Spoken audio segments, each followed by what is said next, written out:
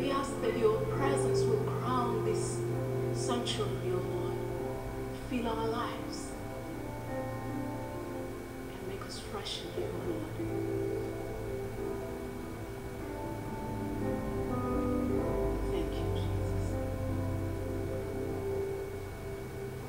Holy Spirit.